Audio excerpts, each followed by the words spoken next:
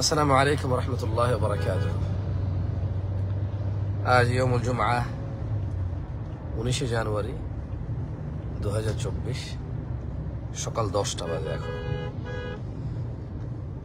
ওয়াল্লাহ, আলহামদুলিল্লাহ। ফেসবুকে আসলে লাইভে আসা যাচ্ছিল না, দীর্ঘদিন থেকে লাইভে আসি নাই। আলহামদুলিল্লাহ, যতটুকু দিন প্রচার প্রসার করা সম্ভব আহ, সহজ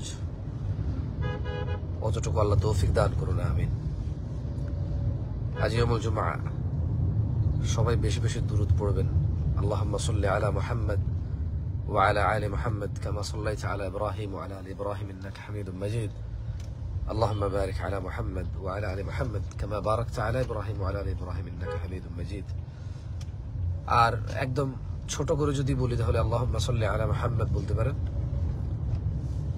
অথবা একটু সুন্দর করে বলতে চাইলে আল্লাহ সাল্লি ওয়াসাল্লিম আলা নবীনা মুহাম্মদ এভাবে বলতে পারেন। সামনে যদি কোনো মানুষ রেগে যায় বা খেপে যায় সেই ক্ষেত্রে তাকে বলতে পারেন সাল্লাহ আলা নবী মানে আল্লাহ নবীর উপর দূরত পড়ো। যাতে সে দূরত পড়ে এবং দূরত পড়লে যাতে তার রাগ কমে যায়। আপনার সামনে কোনো রাগান্বিত ব্যক্তি অথবা কোনো